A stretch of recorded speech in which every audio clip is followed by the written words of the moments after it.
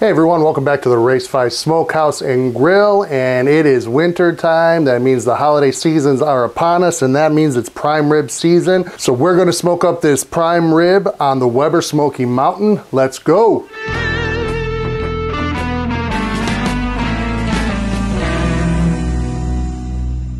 Right, everybody, we're gonna make this quick and simple. It's prime rib, don't overthink it. I was always intimidated about cooking these on the grills or the smokers. Once you cook a bunch of these, you know that it's simple and they're delicious. This prime rib is going to be going on the Weber Smokey Mountain, so we've got that fired up. We're using Jealous Devil lump charcoal. We're using a water pan to help regulate the temperatures in there. Along with the Jealous Devil, we are using some chunks of pecan wood to help get that smoky flavor imparted into this meat meat. So the first thing we're gonna do with this one is we're gonna hit that with some W sauce. I used to use some olive oil or some oil on there as a binder because this is a pretty dry meat. So you wanna kinda get it a little bit wet so that seasoning will stick to it. So this is just gonna get a quick rub down here.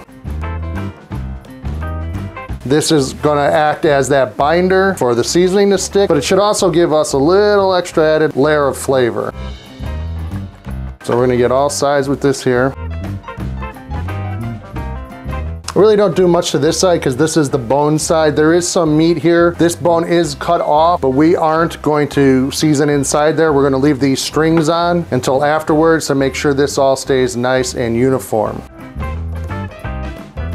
Our binder is added. Now we're gonna keep this simple. I'm hitting it with three seasonings, salt, pepper, and Meat Church's garlic and herb seasoning. Gonna take this glove off for the clean hand. And at first I'm gonna hit it with the kosher salt. And I like to hit it liberally because it's a big hunk of meat. And after you cook it, you're only gonna have the, uh, you know, just the outside that's gonna have the seasoning on there. So you wanna get that good bite of it. Got some 16 mesh black pepper here, only the good stuff. And the Meat Church garlic and herb seasoning. Give it that little extra flavor. Layer and flavor, guys. That's it. Just layer and flavor on this guy. And we're gonna do that to both of the sides as well.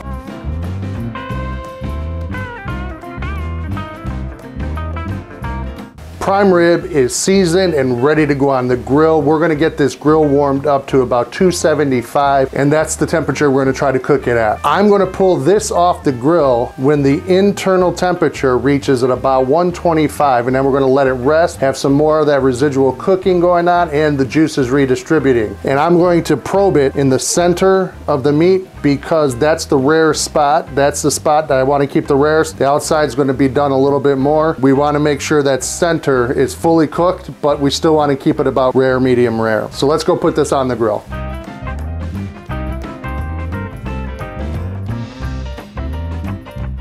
This prime rib with the seasoning has been resting for about 15 minutes. Let that seasoning really tack up on there. Grill's at 275.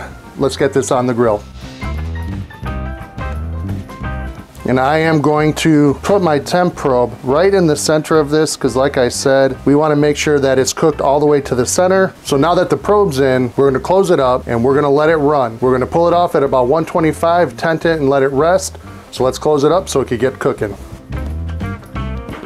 This prime rib has reached 125 internal and is looking gorgeous. It's exactly what we wanted. We're gonna pull it off right now. Tent it with some foil, let that residual cooking continue, let those juices redistribute. We're only gonna let it go for about 10, 15 minutes. We don't wanna let it cool down too much. So let's take this off the grill and we'll be back to slice.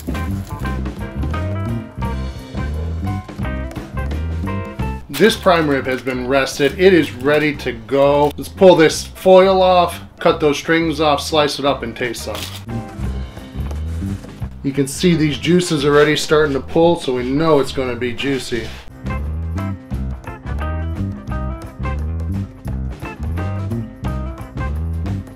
Got some great meat in this bones here, so we'll save that. Now you're looking at this great tender piece of prime rib here. Let's slice it up.